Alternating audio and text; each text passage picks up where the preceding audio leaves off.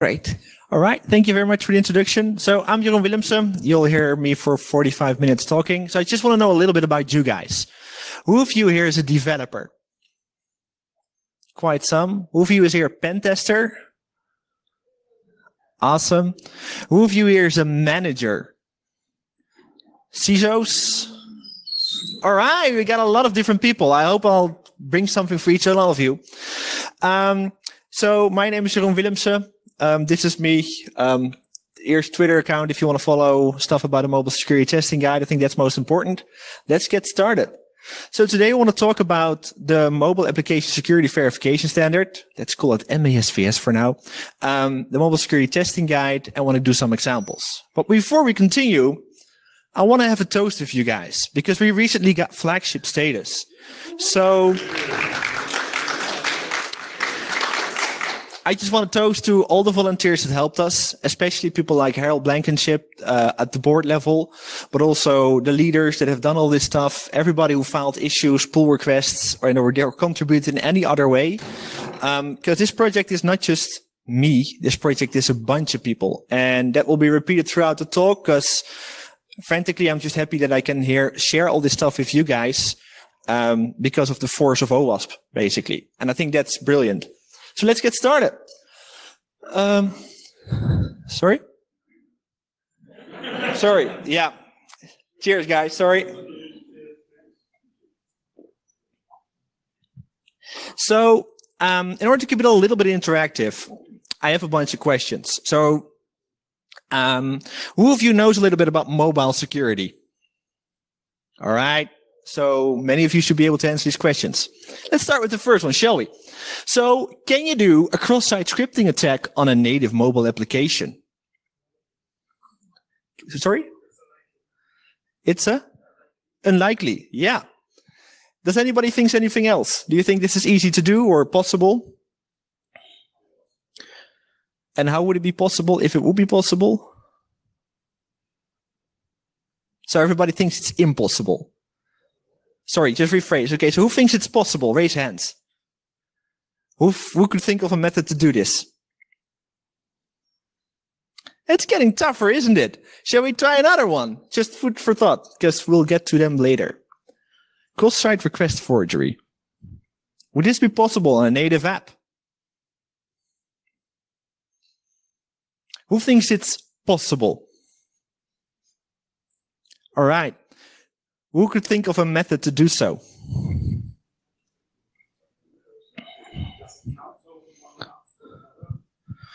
Well, it could be a version of it, of course, because you're talking intents, I suppose. Yeah. So there's also URL schemes. So yeah, there's possibilities in there.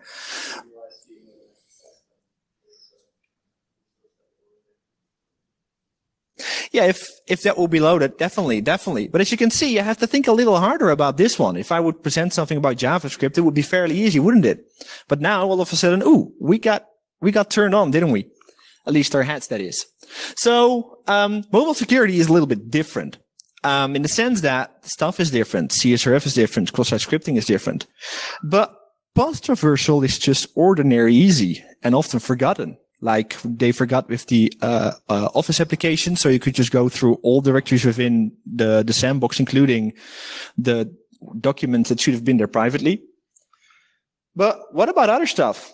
Let's talk about data leaking. So through logging, so your logcat or your logging output from uh, from your iOS application, your insecure storage because you thought using the SD card was a good idea, or what about IPC? So app extensions sharing data in the wrong way, intents packing a lot of extra stuff that shouldn't be there, and we can continue on and on and on about this.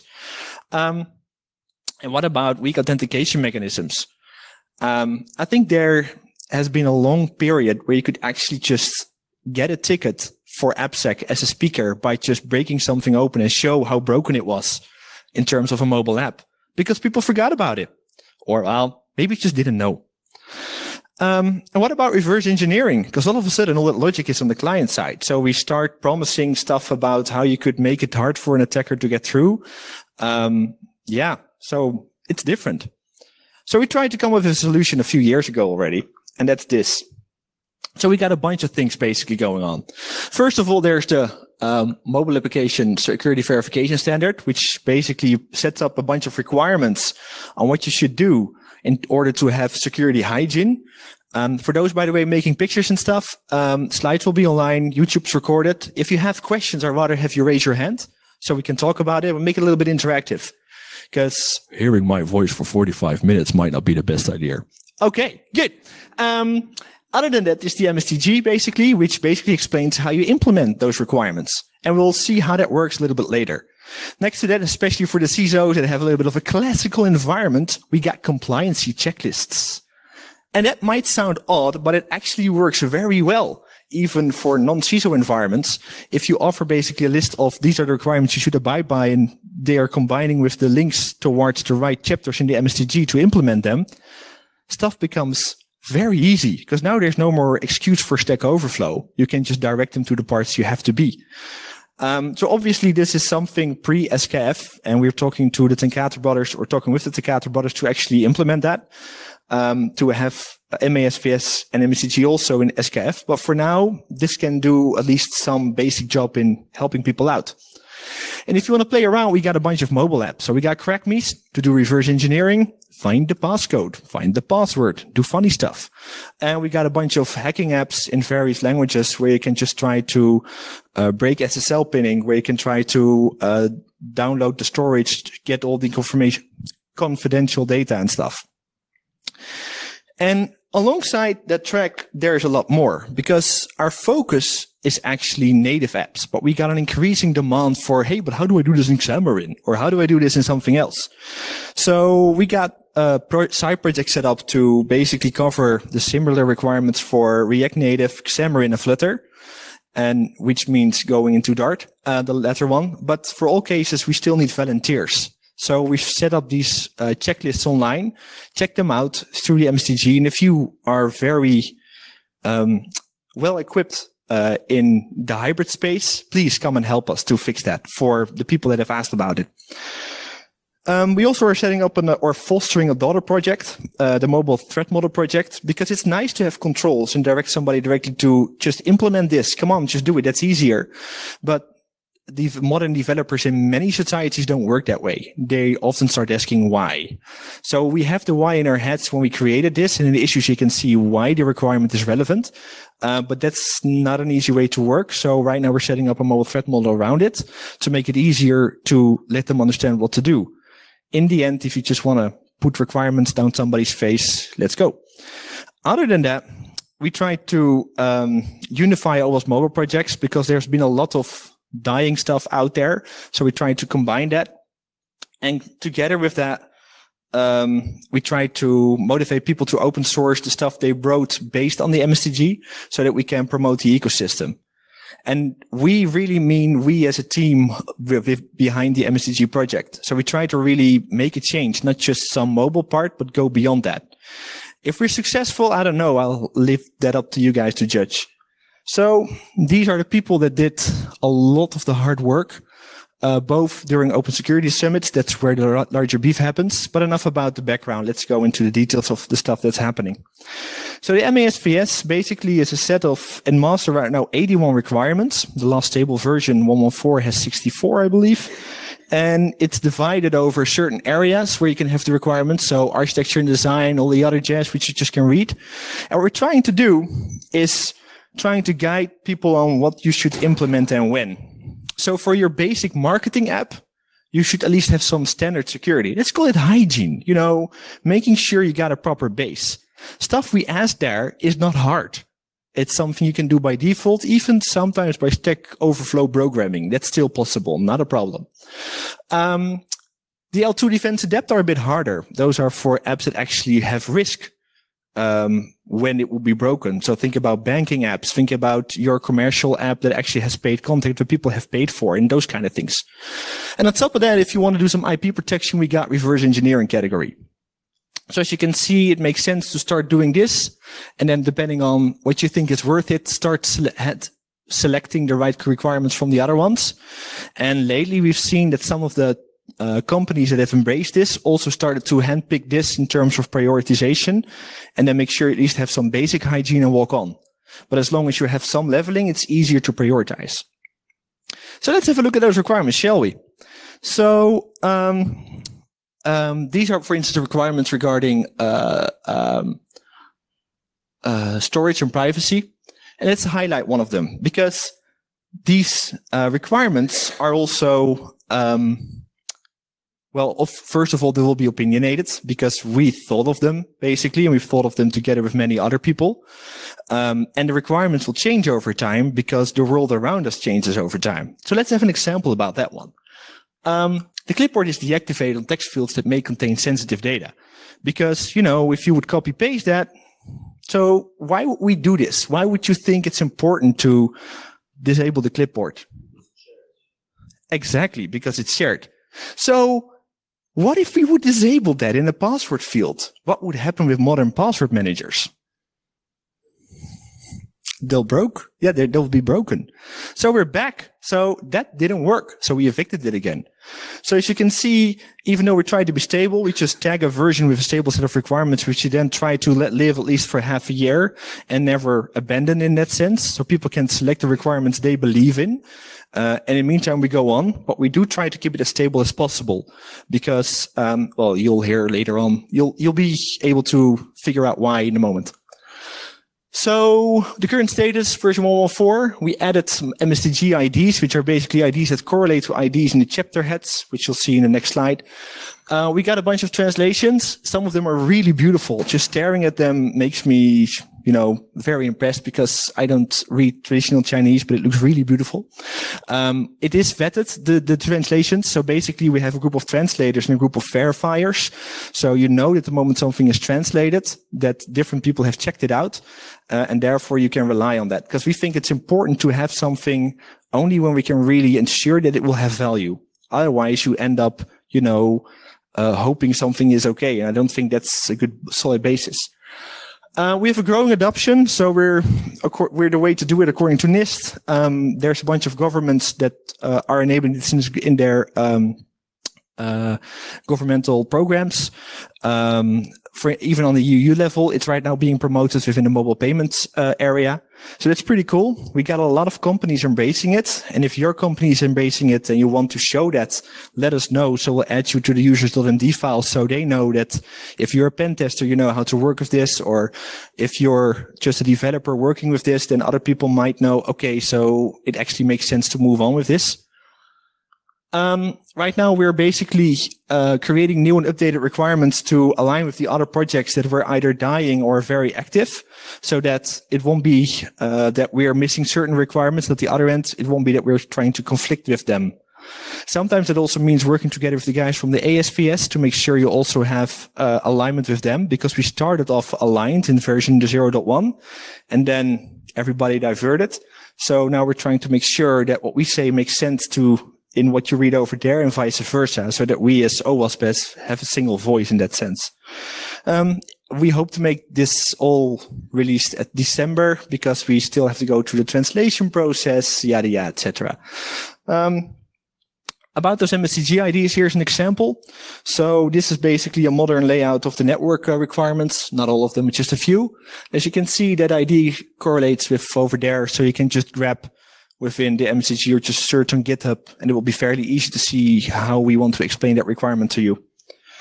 More importantly, how you can contribute. So we got contributor guidance over there. Just check it out. It's fairly easy. Um, if you look at contributing.md at the uh, uh, MSTG uh, uh, repo, it's also fine. Or just Slack us through OWASP Slack and we'll be okay.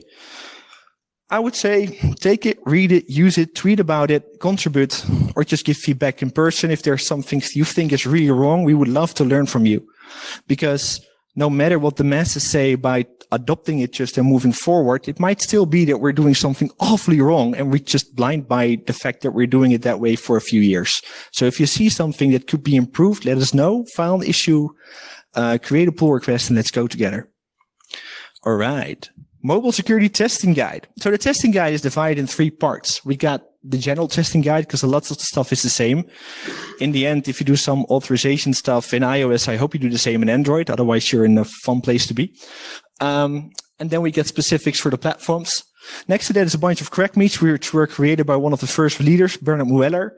I would say try them out. Show me your reverse engineering skills. Come with new write-ups and show how cool you are by breaking it. Um, it's a nice challenge. Um, by the way, we already have a lot of write-ups. So if you're completely stuck, you can peek and spoil your own fun a little bit and at least get through them. Next is the MSTG Playground. So we have a bunch of different apps, a Kotlin app, a Java app for Androids, and um, an Objective-C app for uh, iOS. So it's easier to swizzle. And I believe we're also doing some stuff in uh, in Swift. But really, this whole project um, has a lot of contributors. It's really about standing on the shoulders of giants because before we did the stuff in GitHub, there have been two initiatives with just Google Docs.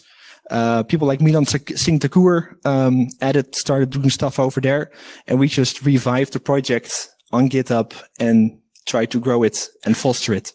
So in that sense, this has been one of the most, I think it was one of the coolest projects I've ever um, got sucked into, and I never wanted to get out anymore. So if you want to have a similar friendly experience in a very cool, um, well, at least some governed structure in terms of the team, in terms of how we try to help each other, um, please join. All right. So current status, um, we were restructuring it over the last summit, which meant a lot of stuff got shifted. So if you're familiar with the MSTG, sorry for having to relook up your stuff differently. Uh, but now it becomes easier. We have a lot of progress on the iOS security and reverse engineering. We actually uh, got a book and it got discovered. So I guess we should now promote it. Um, funny story about the book uh, it was only supposed to be there for uh, the sponsorship package, and then um, this guy found it on Lulu and he ordered it, tweeted about it, and we figured let's make sure it gets to a good level. So let's go use it. Uh, luckily, we also have just ebooks and just PDFs, or you just go through Gitbook, book, etc. So we're currently working on, um, so there have been various updates in iOS 12 and 13 in Android Pie and Q. Um, we have a few missing test cases in the reverse engineering area, uh, and we're um, working on automating the builds of the CrackMe's uh, and the playground to make it easier to make it compatible with newer versions of Android and iOS.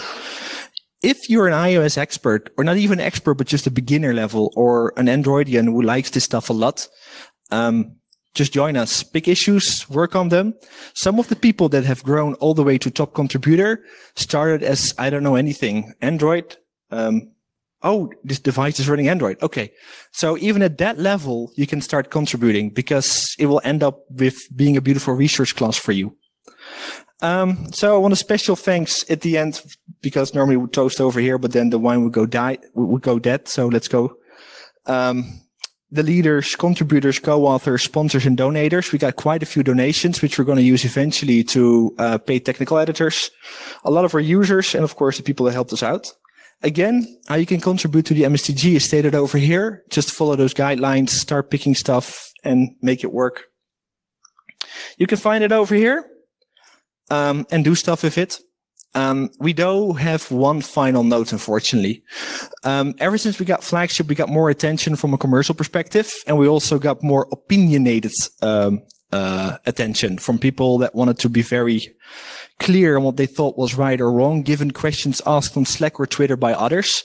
So please read the code of conduct before proceeding or just be nice. All right. Thanks. Let's um, do some hacking, shall we? So, um, questions so far? Yeah.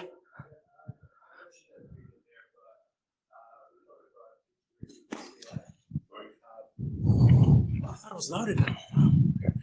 Hey again. Um, yeah, just a question about uh, the integration with SKF. You said there's like kind of discussion going on there. So what's what's the next step? What's the status? What's holding it back? Yeah, good question about the SKF. So um, the SKF has been evolving, of course, and so did the MASVS and the MSTG. So where they were evolving in terms of how to create cases and how to create content, we were evolving in the content itself. Um, we just set during the conference sat down together to see for a path how this could be eased out. And we figured a solution that would make it easier for the SKF uh, to actually start adopting this. We're importing it easier and then have references to some parts of the MSTG. Um, so they don't have to copy paste everything, but it will be easier to have traffic to one to the other. Um, obviously that requires an internet connection at first, but we'll figure out something later for having stuff in databases. Uh, but we're actively working on it. Um, and I think we'll get somewhere this year. Thank you. You're welcome. Any other? All right. So as I promised, this talk would actually be in the description about how to use the stuff, right? So let's, let's dig in. So the easiest thing to start off with is network, because I think most of you will know some bits and pieces about how to do networking properly, how to secure that, etc.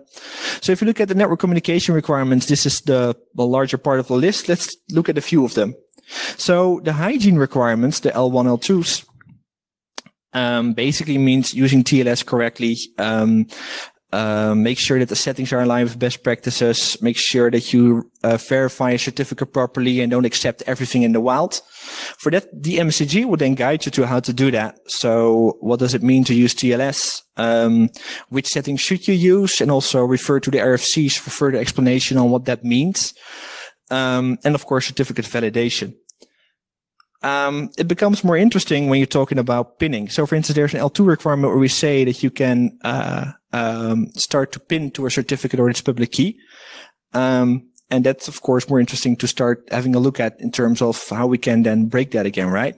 So who of you is not familiar with certificate pinning or public key pinning? I guess you're all familiar. So all of you will probably recognize what this is, right? The representation. All these fields together, what is it? Just shout it out. Sorry? Shout it out louder. No, I see, I hear some doubt. That's all right. That's all right. It's a certificate with its fields, gentlemen. Obviously, I can graph stupid stuff, but it don't work. Um, so given that little bit of a twitch that I just had with you guys, let's just still explain what happens, right? So when you create a connection, uh, with your backend and you're using TLS, what basically happens is that um, the client basically starts connecting the server, says, I want to talk to you, blah, blah, blah. Server says back, um, yeah, sure, you can talk with me. These are the type of protocols or ciphers that I support. These are the extensions I support. Go ahead. You as a client say, all right, well, I want to support these. Let's talk that. Then something is selected, um, based on, uh, the service configuration. Um, and then he sends back uh, uh, a confirmation of what's going to be used, and he's going to send his certificate, or rather said, the certificate belonging to the domain on where the uh, TLS terminating endpoint is basically running. That uh, certificate might also be augmented with a bunch of other certificates that basically show that this certificate is okay or not. Uh, what you end up is getting this sent. Um, and then, of course, the point comes, that's where a lot of arguments has been in the past, is that certificate pinning has been implemented a lot in Stack Overflow as in, look at all those beautiful bytes. Let's make sure all of them are the same. So then we talk about certificate pinning, which basically means at the moment your certificate is expired and you rotate it, all those bytes, at least these bytes will differ. So you can compare whatever you want to, doesn't work. So clever people said, use the hash from that the hash will of course differ the moment you have a new date, therefore breaks again, doesn't work. So you have the alternative public key pinning where you basically pin to this little fellow. So the subject public key information, which basically has the algorithm identifier in the public key value. And sometimes you even just pin to the public key value itself. Um, little funny thing behind this. Um, it's wonderful to have public key pinning or anything alike, but that does require that your organization is mature enough to protect the private key where the public key belongs to. Just saying. Um, so given that we implement it, how do we verify that? Um, so the MSTG shows how you can implement that in various ways for Android and iOS because you have various methods to work with. Um, and even we do this on hybrids because we got this question so many times. We figured, okay, okay, we just put it in and walk away. Fine. Um, but what about verifying it or bypassing it? So who of you bypassed and uh, uh, SSL pinning on mobile already? Okay, for those who raised their hands, about four. I'm sorry, it's going to be incredibly boring the next 10 minutes. But um, for those who didn't, please pay attention. Um, there's a bunch of things you can do. So below, um, if you just want to first check whether actually you got anything on in there. Below Android 7, just install your certificate CA on the device. On Android 7 and above, you have to actually rewrite the network certificate, uh, network security configuration to accept the CA that you're adding. Um, and then try to man in the middle application. Uh, similarly in iOS, you install just the certificate, um, and then you try to man in the middle it. And then if the communica- if you can't man in the middle it, you get a client side certification error or a, um, a client handshake, client side handshake failed or client handshake failed, you know, ah, at least something is happening over there that apparently seems like pinning. Um, so how do you want to bypass it then? So there's a bunch of ways to do this. And if we had all the time, uh, we could go through everything. So if we have time left, we can still do the demos of Android, but want to focus on iOS for now. So um, the first one is using SSL kill switch v2. Um, this is basically the most easy way because uh, that means you're going to do a jailbreak um, of the device. You install Cydia, and with Cydia, you're just going to install SSL kill uh, switch v2. The alternative is to do it with dynamic instrumentation on jailbroken or non-jailbroken devices, but we'll talk about that later. Um, let's have a look at an application, for instance. So here we have an application, and here we have our beautiful Burp Suite running. And it's just um, a demo app. It's not a real Snapchat app, even though it might look like that. So we open it up. We enter our credentials. And it couldn't connect because it's pinned. So we can't move forward. So in our settings, we have the SSL kill switch v2 standing by. We turn it on.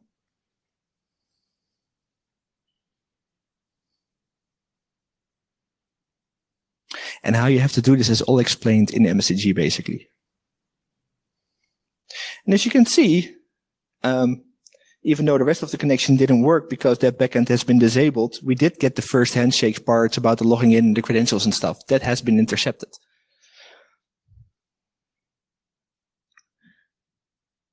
So again, with SSL kill switch v2, sorry, that's a bit of a bug. So what happened basically? Um, what happens, SSL kill switch v2 uses the MS hook function from the mobile substrate, which is packaged within Cydia. And it starts patching certain operating system level methods. So on iOS 9, these methods are being patched and on iOS 10 and 11, this one is patched. And the idea is basically when you do your NSL, when you do your uh, TLS handshake, you're using either um, NSL URL connection or something else. There's three different methods, I, I believe. Um, oh, sorry. And by having the method patched, even though these methods will give back error, failure, this is not okay, you basically patch the methods on an operating system level in such a way that they always say okay. So in that sense, there might have been an instruction to pin and the pinning failed or the validation of the certificate or the public key failed. But because we patched the methods, it will always say okay. So we can bypass them. Um, this is what you do on an operating system. The moment you enable this SSL kill switch v2, you enable it for everything. So if you would use your own device for testing, be a bit careful, might help. Um, but what if you don't want to jailbreak? So jailbreaking requires maintenance. Who of you ever jailbroke a device? Whoever of you lost it accidentally due to an update?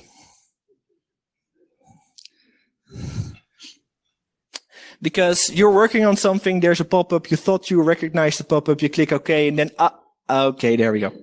Um, it used to get harder to find a jailbreak. Thank Apple for iOS 12.4.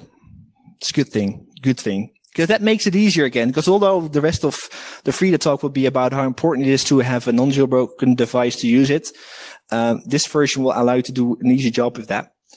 Um, but the problem, of course, if you jailbreak and you have an app with jailbreak protection, then you also have to patch that for some reason, which is going to be harder because you've patched the operating system and not necessarily the app itself. So with Frida, uh, and this wrapper around it objection, you can actually just start patching the runtime of the application itself. Let's have a look. So over here, we have a similar setup as we used to have the last time. Now we're going to intercept stuff again. So we're using iOS deploy to deploy the application that's just been patched to uh, the device. Um, we skip the patching process for sake of time.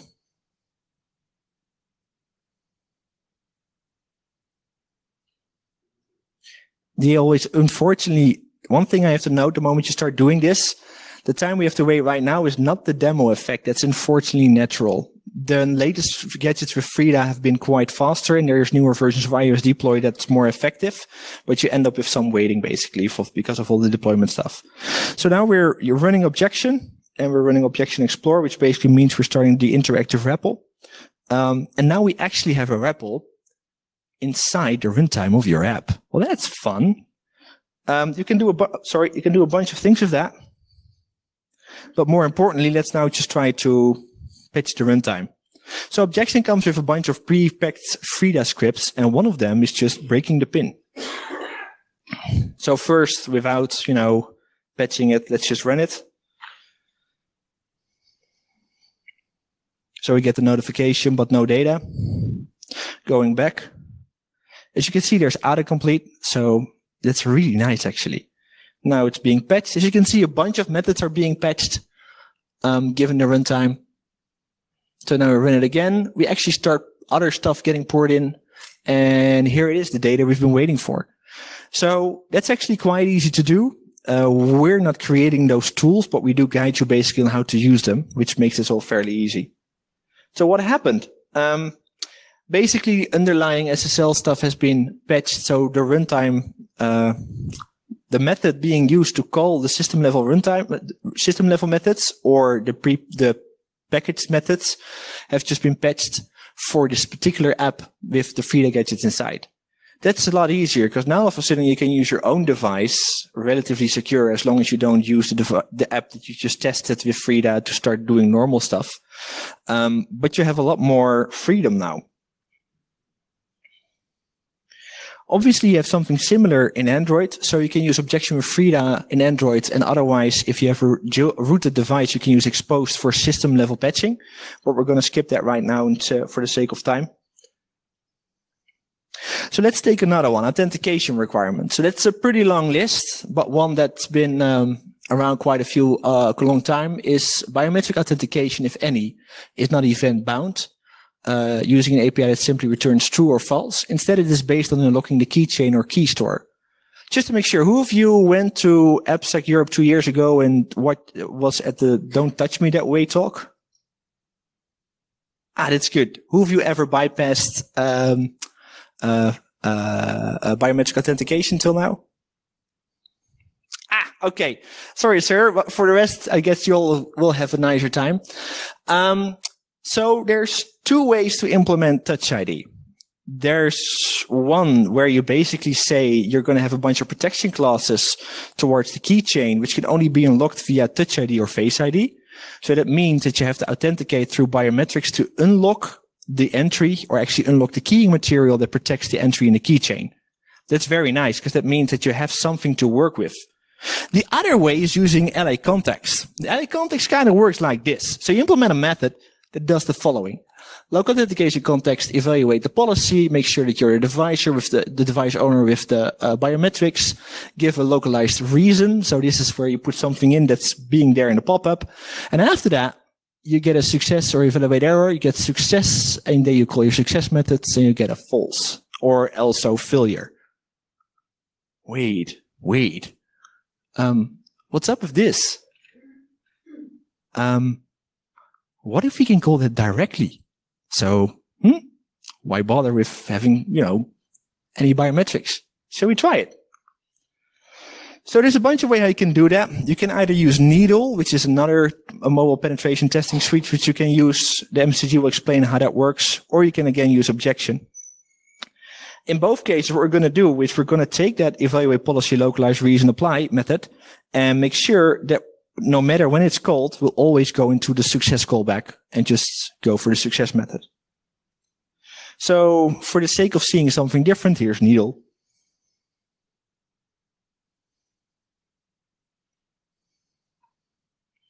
So when you start Needle, you have to do some pre-installation stuff, which we'll skip right now, but it's all applied later. So here you can see it's actually, uh, it's coming with a bunch of modules, and one of them is, for instance, the C Touch ID. And here you see the uh, client running or Needle server interface running.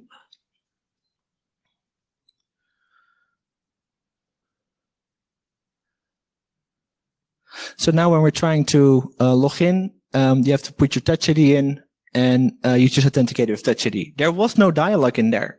It was just plain skipped because it wasn't there. Just to make sure, um, we also have a little video over here. What would normally happen if that wasn't the case? So here we have the same app. Sorry for going a bit up and down in there. So here you get the Touch ID pop-up, but with the other version, you don't.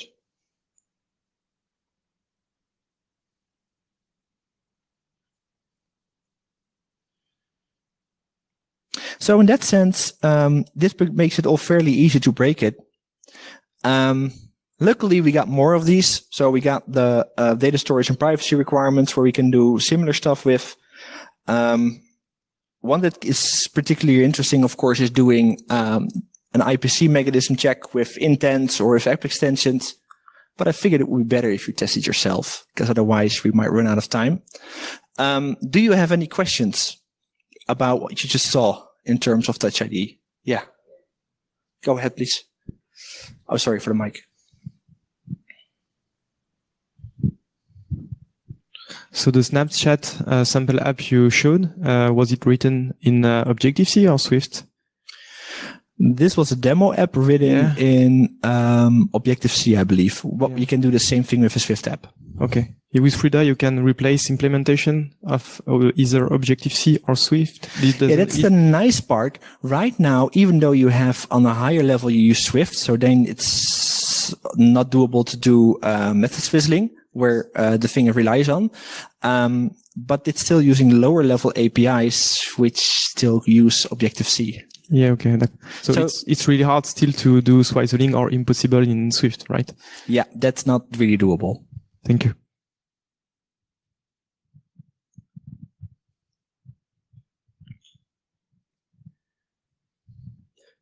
Yeah.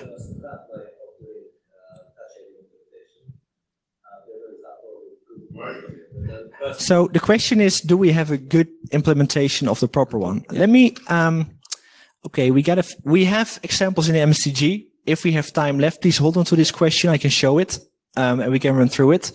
Um, so because it's, it's, it's good to show how not to do this. You just show us developers don't do it like this, but you also need to tell developers this is the right way of doing it and this is why. Yeah. So that's luckily in the MSTG.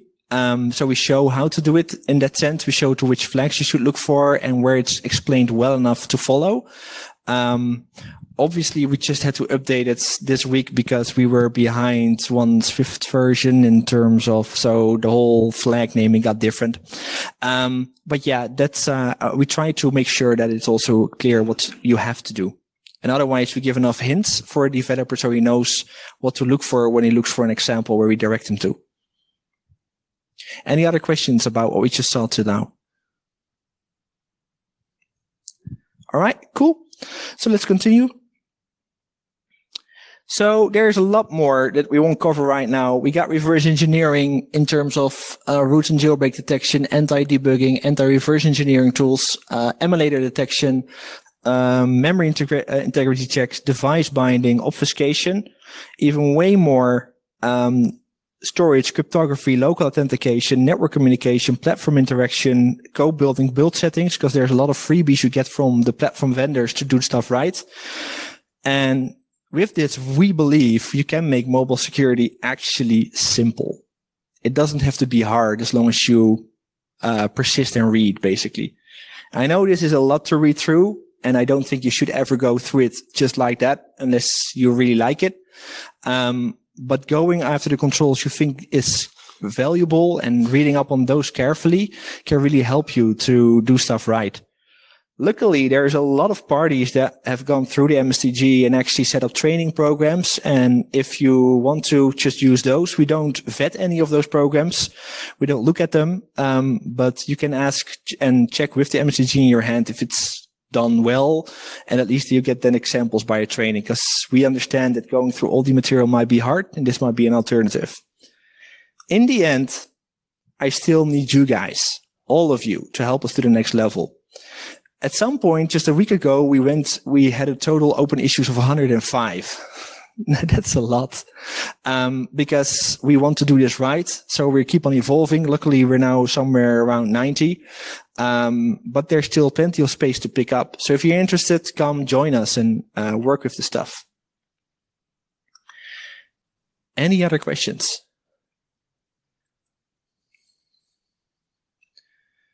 Okay, I believe we have some time left, right? Um, so if you want to, actually, no. We have about five minutes, yeah. about five minutes. Who wants to see some Android demos? Because I, yeah. All right, let me see. So remember we talked about the SSL pinning and we rem- and we talked about the um, uh, the uh, hacking playground. So this is an example of the hacking playground app where we implemented SSL pinning. So when you try to connect basically we give the hint you should see something over there. If you don't see something, something's awfully off. So there's nothing, right?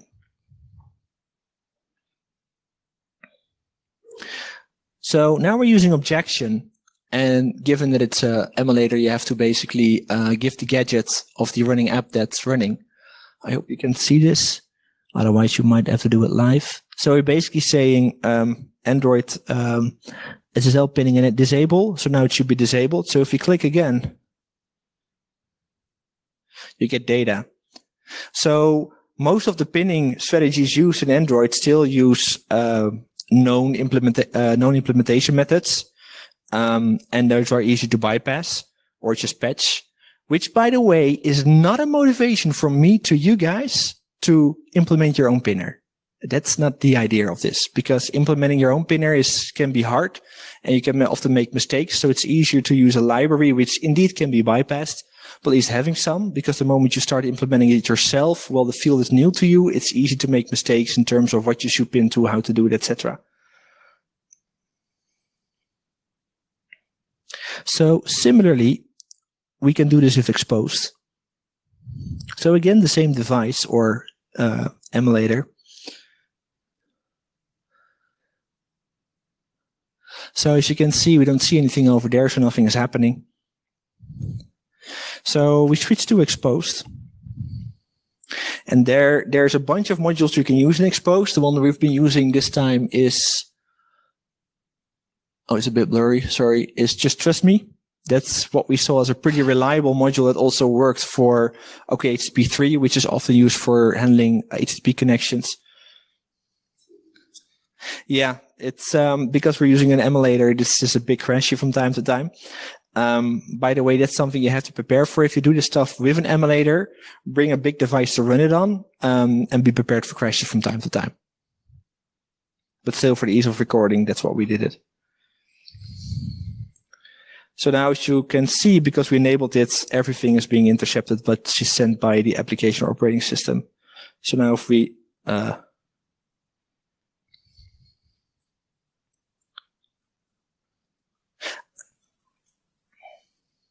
So now the request comes through. And this is the funny part. As you see, it took a while before the data popped in. When you use exposed on modern Android versions, you often get odd delays, which I can't totally explain because we didn't dive into it.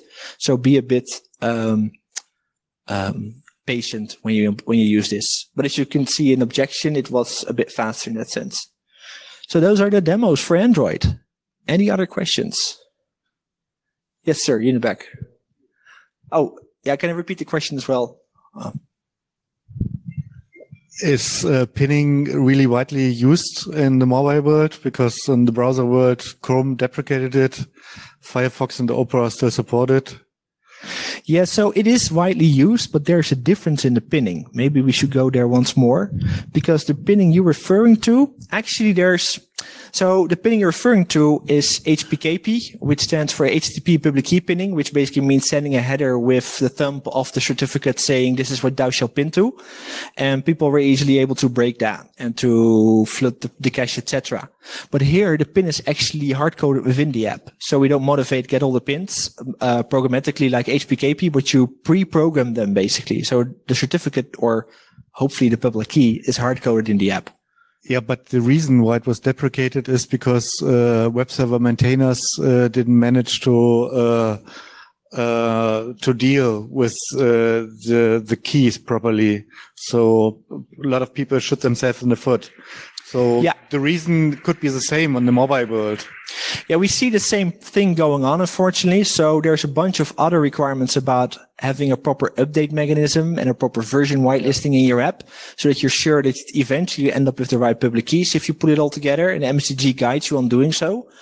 Um, but in the end, that remains a hard job. So that's why it's an L2 requirement. So many apps that don't necessarily need to pin don't shouldn't pin because then you have the hard time of managing your certificates um, or actually the private keys that belong to them.